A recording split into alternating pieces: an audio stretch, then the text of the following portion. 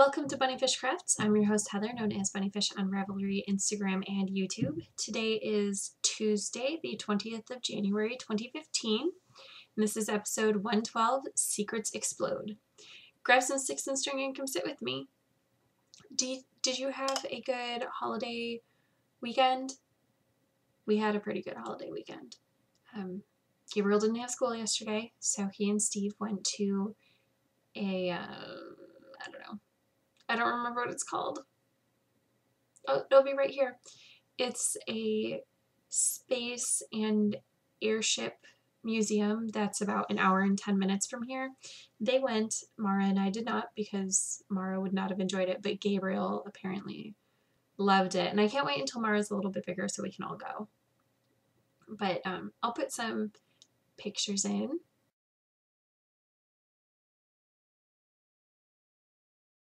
it was really cool when he came home and told me all the stories, and he was so, so excited. Um, there was a, a sad happening this week. My Legolas socks, I don't remember when I made them, but sometime in the past two ish years, because I podcasted while I was making them, um, they have a hole, and it's a pretty substantial hole, which I am going to darn because I um I'm not giving up these socks. And I don't have any more of this yarn because I used it in my sock yarn blanket. So I can't just like rip out the toe and reknit it. So I'll be darning that this week. And maybe if I remember, I'll show you next week. It is my first pair of socks that has officially worn out since I started knitting. You may remember 11,000 years ago. I think it was the first, like the, the second or third episode. I had to darn a sock because Steve put them on and then ripped it on a nail or something. I don't know. So I had to darn that. But this is the first pair of socks that has actually gotten a hole in it from use. So, and it's mine. And this is made using um, Madeline Tosh sock, which does not have any nylon. But it held up for two years before it got a hole. So yeah, I'm still going to make socks with yarn that doesn't have nylon in it. I mean, I'll use it for, I'll use that yarn for other things, shawls, hats, etc. too, but I'm not going to shy away from yarn that I want to use for socks just because it doesn't have nylon in it. So, need to fix those. Anyway, on to actual interesting things, right? The steampunk knit along is going on, and I have decided because we're already two thirds of the way through January, and I have not opened a chatter thread or finished objects thread, and I haven't even been on Ravelry really at all this month, so I don't know if someone else opened a thread, which would totally be fine. If someone else did, thank you, you're amazing. I'm sorry that I haven't. So because I have not, I am extending the Steampunk Knit Along. The finished object should have been finished between January 1st or, well, through, rather, March 31st. So instead of January, February, it's January, February, March now. Also because I might need some more time to do my steampunk things. I didn't even work on my project at all this week. Yeah. So it's now three months instead of two months. So if you weren't going to join in, now you can because you have an extra month. Um, there are up to three entries per project. Go back and watch previous episodes about it. WIPs are okay. I am going to structure this podcast a little bit differently this week because I am going to show you the um, the holiday knitting that I finished, but it has not yet been sent out. I'm hoping to do that tomorrow, but still, people would be able to see their things before they got them. So I'm going to do them at the end so I can excuse my friends from seeing their things before they get them on to works in progress. I mostly worked on the things that I finished this week, but I did make some progress on the tiramisu blanket, which is a pattern by Alicia Paulson. I was hoping to be much further along in this, but then it got set aside because I decided to finish those other projects. So where was I last week? I think that I was about here. So I think I did this much this week. I didn't get through balls five and six of the yarn, but I'm getting pretty close. This is what the skein is looking like. So um, now that I'm now that I have freed up myself from the Christmas knitting from 2014, I know it's almost the end of January and I was still knitting on Christmas 2014 things. Whatever, I don't care. Sometimes these things take longer than we think they were going to. Anyway, I should be able to finish this by next week and hopefully finish a couple other baby things by the end of the month, which was my goal. And um, the yarn that I'm using is I love this yarn in the sport in sport weight. In the Naturals Multi, I'm using a USJ hook, which is a 10 or a 6.0 millimeter. I don't even know if that's gonna focus for you at all. Um, so that's what I'm using to make it. I will be using other yarn for the border, but you will see that next week because I'm finishing this or getting it very close to finished in the next week. Uh, I also did some spinning, but it appears that I am not prepared and left my spinning down on the kitchen counter, which is where I keep it during the week so that when I'm cooking and I have just a few minutes, I can spin a few lengths because it's easier to set down um, spinning than knitting. And it's easier it's easier to pick up and go with spinning than it is to pick up and go with knitting. There's just a lot less fiddling to have it be a start stop thing. So this but you know, it's spinning so it doesn't really I haven't made so much progress that you'd be able to tell. So it's okay that I'm not showing you. I worked on that barn raising square that I had started last week, and I am counting it as finished because all I have left to do is the bind off. So this is what it looks like. I never bothered changing it over to circulars because I was lazy.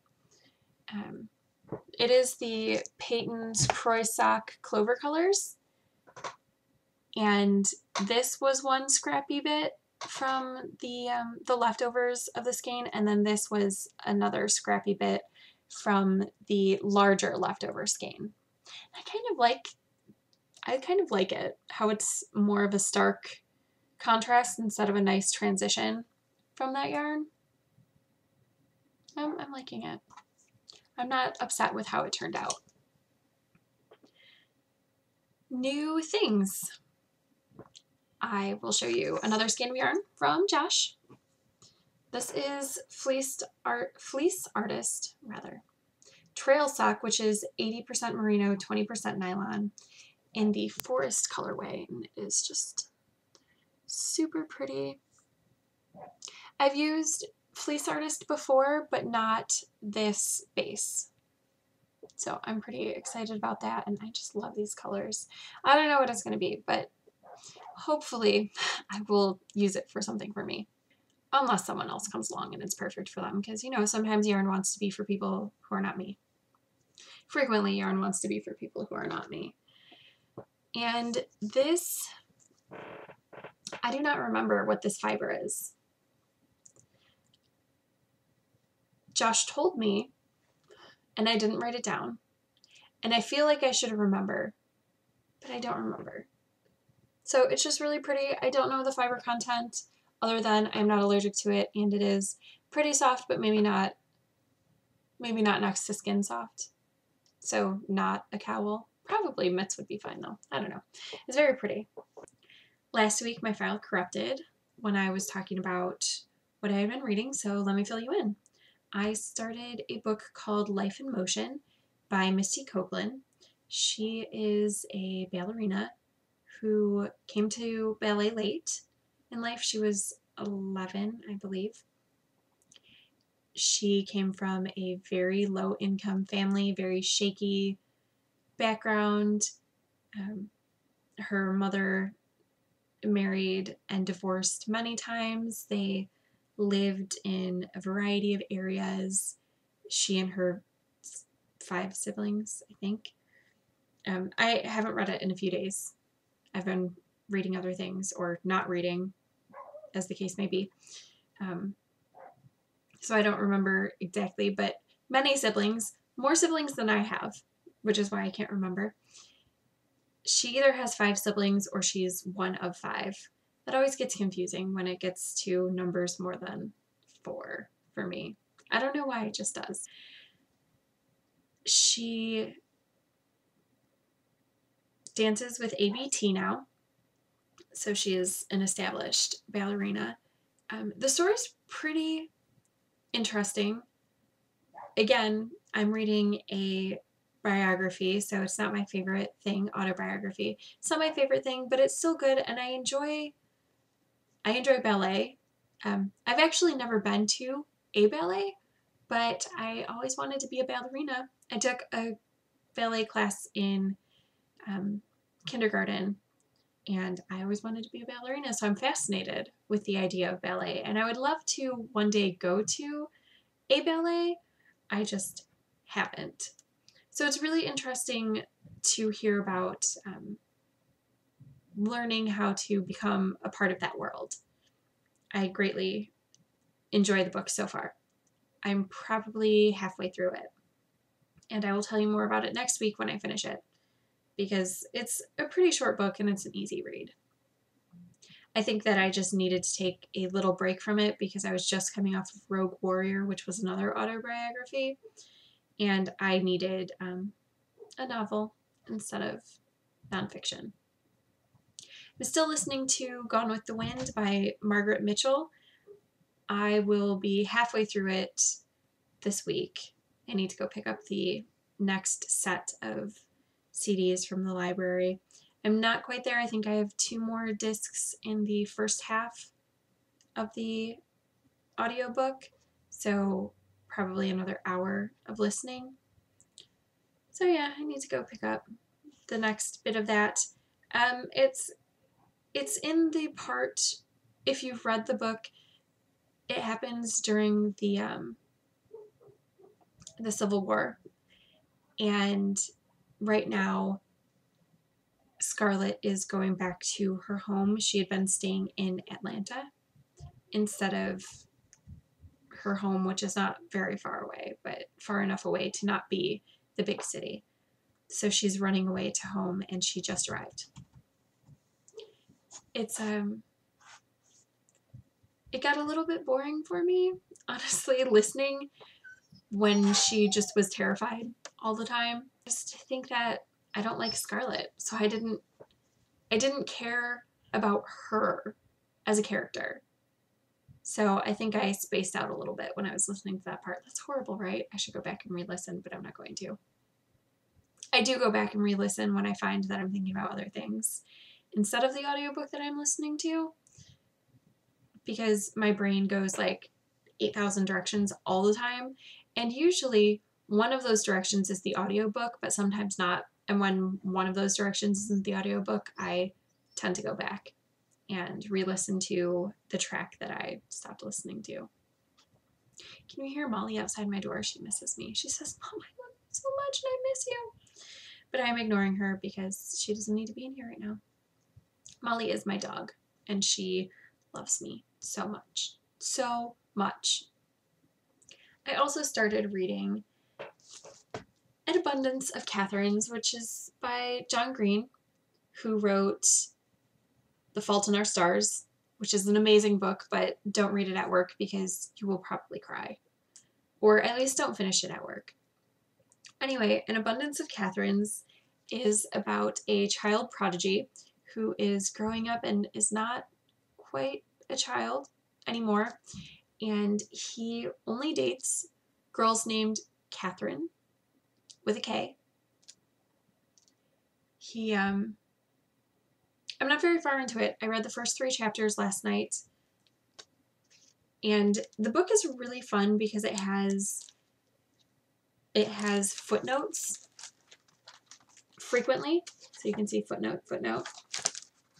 And they're just um it's it's mostly flavor text. It's to give background on what's being talked about. Some of them are actual footnotes that are useful to have, such as Sitzpinkler, that's probably pronounced incorrectly, um, a German word, slang for wimp, that literally means a man who sits to pee. Those wacky Germans, they've got a word for everything. So it's a little bit of flavor, but also information that I wouldn't know because I wouldn't know what that meant. And I probably wouldn't look it up as I was reading it unless it happened more than once in the story. Because I don't I don't tend to stop to look up words unless I really need to know what they mean and a um an insult in a foreign language, I don't really need to know what that means. But it's fun to have that footnote in there that lets you know what it is. I really, really like the book so far, even though I'm only three chapters in. I really just like John Green, which is abnormal for me because I don't tend to enjoy men's writing as much as women's writing. It's just how it is. I feel like this book bridges the gap really well. I have a podcast recommendation. It is Mondot Stitches with Diane, and it is not a knitting, spinning, crocheting podcast. It is a cross stitch podcast. But I know a lot of fibery folk on Ravelry are into other types of fiber crafts also. And Diane is very, very enjoyable. Her work is gorgeous. She has been working on some really, really beautiful pieces. And she is very calming and soothing to sit around and listen to. So I recommend her podcast if you are at all interested in cross stitching. Okay, on to the part where I kick out my friends. So if you are Josh or Haley, um, you need to leave now and your packages will be arriving shortly because your stuff is finished. Yay! So I hope you guys like your stuff when you get there, but seriously, go away. Hopefully they're gone and they're not waiting. And Haley, really, I'm going to talk about your stuff first, so you need to click off now. For Haley, I made a pair of knee socks because she keeps saying that she wants to make a pair, blah, blah, blah, but she hasn't done it yet. Haley is from the Knit Two Together podcast, and she um, she knits a lot of socks, but they're all like ankle socks. So I used two different yarns together. This is Leading Men Fiber Arts, the 80-20 mix. The colorway is Deep Sea, and it is the Showstopper base. And then the other color I use is the, it's from 716 Knit, 716 Sock. I feel an attack of dumb blonde coming on. And it was the ZK 2014 colorway. And I thought they went together together pretty well. I wasn't sure if I was going to need more than a full skein of yarn, so I decided to just go with two. And what I did was I took the Juck pattern by Regina Sada and did that on the tops of the feet and across the front of the sock, which I'm going to now take off my sock blocker because I feel like that would be easier to show you on my hand. Okay, so there's the Jack pattern. It is a, um, a ribbing pattern with slip stitches, free pattern on Ravelry, very well written, easy to follow. I believe it has both the chart and the written instruction for the sock. So there's the sock pattern. And I did the toes, heels, and cuffs in um, just one yarn. So this is the Leading Men Fiber Arts and this is the 716 knit. And then for the foot, I striped every round, changing the color. And then I continued that pattern up the back of the leg a little until I got to the calf. So Haley and I have, um, we're very different body types. And normally when I make socks for my sister or my best friend, we have very similar builds. My sister's a little bit taller, my best friend's a little bit shorter, but our legs are like I can use my leg as a as a um what am I talking about? As a as a model, I guess. for how the socks should fit because we're all pretty similar. Haley and I, different body types.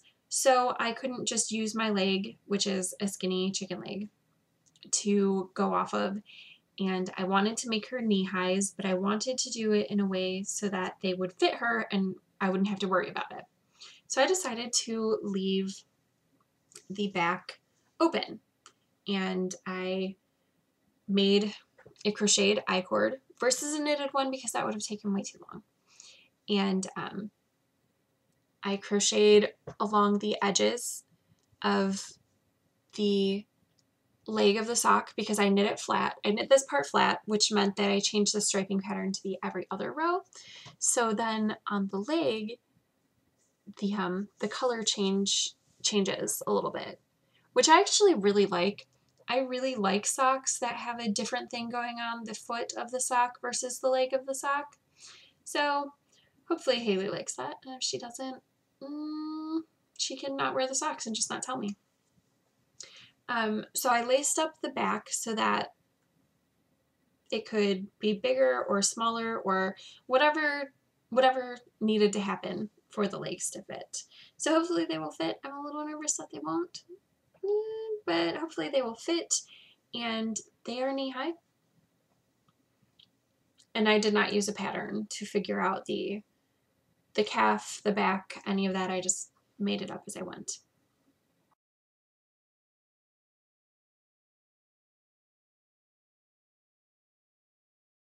On to Josh's blanket squares.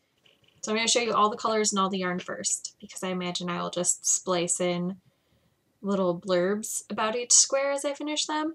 I don't know, I didn't really think about this, but that's that's what I'm thinking now. So the colors that I'm using.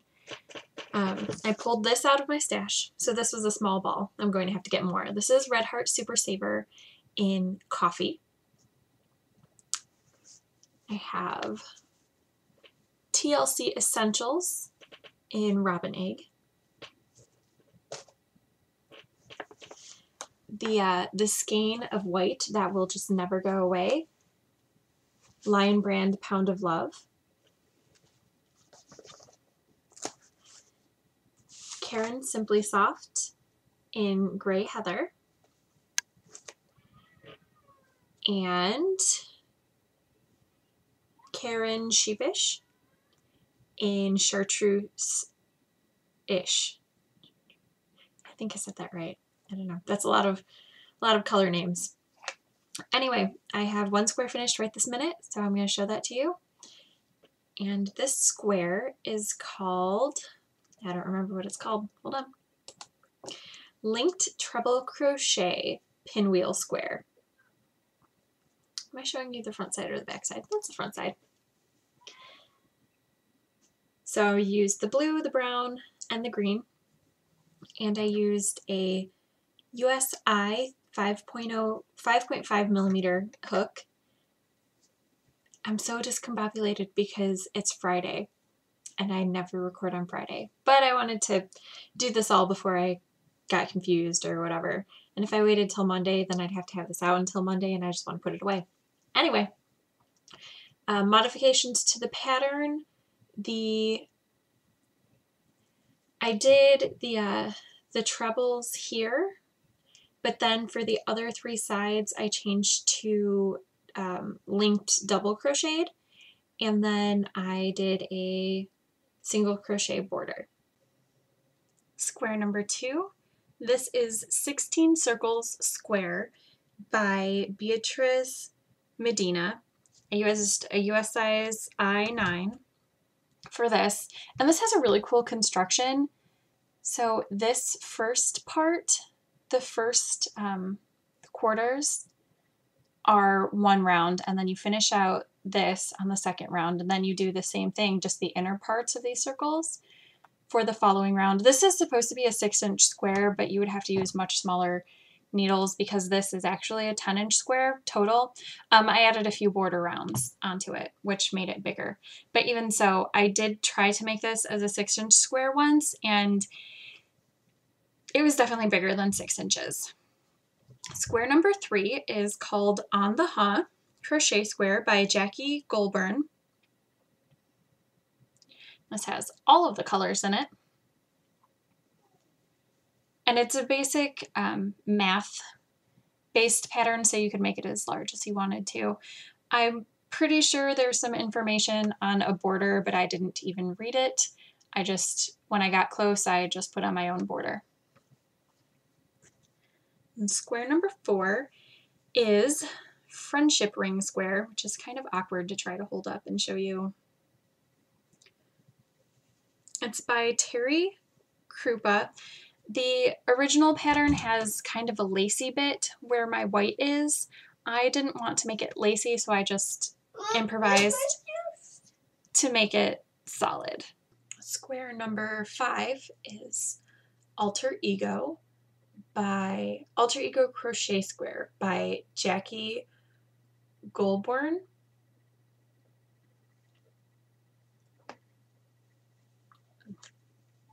Number six is Double Treble Burst Square by Amelia Beebe. Those two are both free. Square 7 is Forest Chains by Jessica Phillips. And this is a paid for um, pattern, which I must have gotten as a free thing sometime.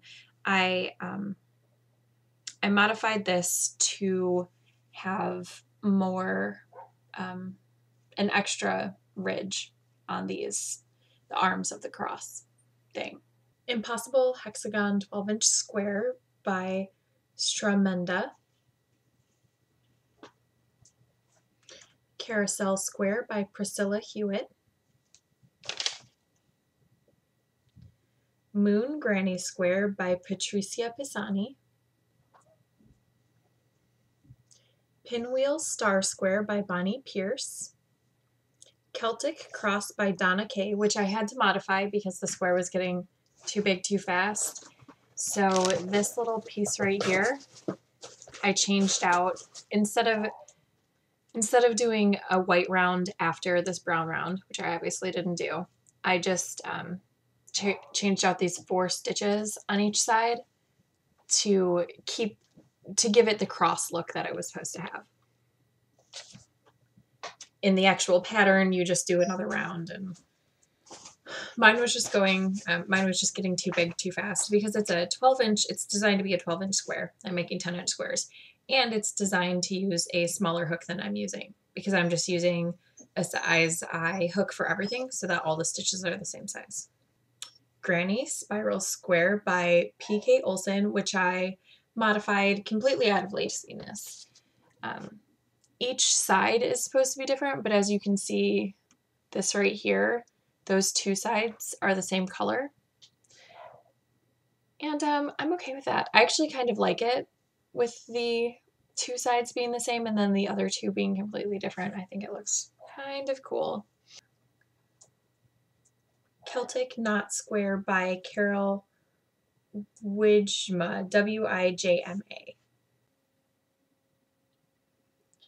Shapeshifting in 12 by Aurora Suominen.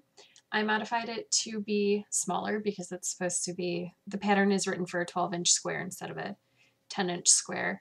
And I promise when it's laying down, it's flatter than this. It's just, you know, sometimes things want to argue with you. Op Art Afghan Square by Jennifer Christensen.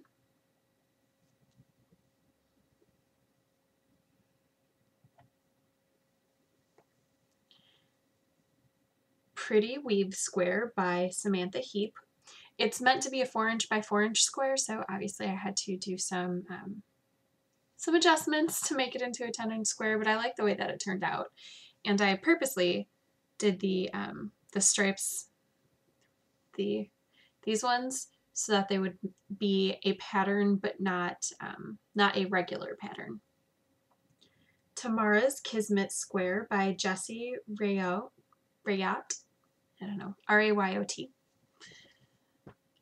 And um, it's got these really cool texture things that you do by manipulating stitches. It was a very fun square and it definitely took me a moment to figure out what was going on, but the pattern is very, very well written. It's um it's a blog post, so it's free. And it takes you, the blog post has video embedded of how to do the stitches and also picture tutorials. So you can do either video or pictorials, whichever one works better for you. Is Spike's Strike by Sanhita Kaur. Broomstick Lace Afghan Square, which is the first time I've done broomstick lace, and it was actually pretty interesting. Like I understood the concept of it, but having never done it before, it took me a moment to figure out what it was telling me to do. But then I did, and I am pretty pleased with how it turned out. Can't really see it because it's blends in, but it's really cool. Ad Astra by Chris Simon. Weekend in Stockholm Throw by Debbie Stoller. I actually found this, I found the pattern for this to be not, I didn't find it to be well written. I had a lot of trouble trying to get through it, but other people who had made the pattern had made really good notes on what they had done. So definitely if you're interested in making the square, which it turns out nicely, it looks nice. And it's not that difficult once you read other people's comments on it. I would highly recommend looking at Ravelry for that.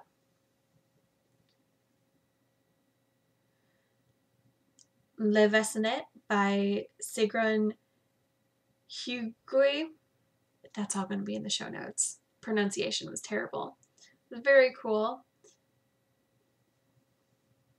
This does require a little bit of um, putting things together. These are not attached as you go. You make the nine circles and then you attach them and then you go from there. Squaring the Big Circle by Kate Jenks. It's one of my favorite go-to, like all around good squares. It's just fun. You can use, it looks really good using a variety of um, color placement and it's just a, good general square. I finished the Rift socks a while ago actually. I just forgot to record. So this is what they look like. They have this pattern up the front and then the they cross on the sides instead. Um, I'm pretty sure the pattern says to do this cross again. I'm pretty sure that that's the pattern repeat. It's a free pattern on Knitty. Um, it's toe up. But I think I would have run out of yarn if I had done that. Or they just would have been really, really long because this is not a short leg. Josh wears size 10, I think, shoes or nines or something. I don't know. I knew when I was making them what size. So anyway, here's the foot with the heel and then the leg comes out additionally this far. So if I had done another repeat, it just would have been really, really long and he would wear them. He has like knee-high kilt hose that he has worn. So I, he would wear them, but I just wasn't, I don't know. I would have felt like I would have needed to do calf increases and stuff and I wouldn't have wanted to mess with it. And one final shooing away.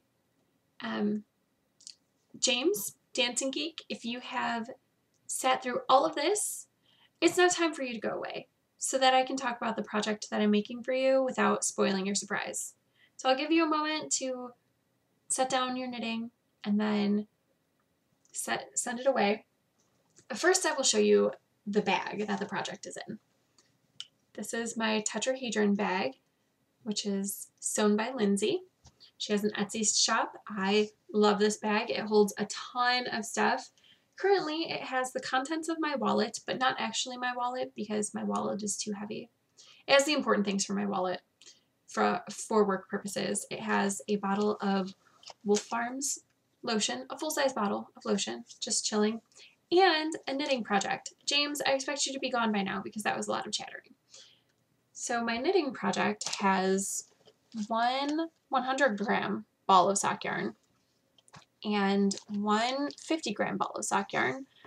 plus the project is itself. I am making for James, who won the um, the hand knit item from my podiversary. I am making a hat. This is the string band by Stephen West. I am about 60% through with this project, I would say. So it will uh, it will look something like that, except there will be a green section with buttons going up the side. I've worn my string band hat on this podcast a few times, so you will have um, you'll have probably seen it by now. And I will show you this finished project before I send it off on its way across the ocean. I don't know what this yarn is. Haley sent it to me, oh, I think two years ago at this point. Um, but it's got um, two different shades of orange. It, it kind of almost pinky-ish orange and then a yellow orange, but maybe just, you know, not a pinky orange. I don't know. I think it looks fine with the green. I don't think it looks too girly. Hopefully James thinks it looks fine. And then it also has cream and black. And this green yarn is, um, I think it might be a Joann's yarn. It is whatever I used for the heels and toes of the two pairs of socks that I knit with separate heel toe colors. So it's the leftovers of that. And yeah, this is going pretty quickly. It is my work knitting because I can knit and walk and talk and be on break and whatever with it and it I also don't have to look at it so much so it's fine sitting in my car in the parking lot before work when it's still dark outside.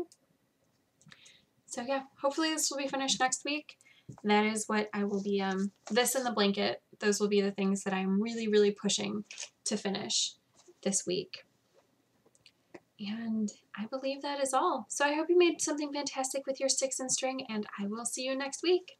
Bye!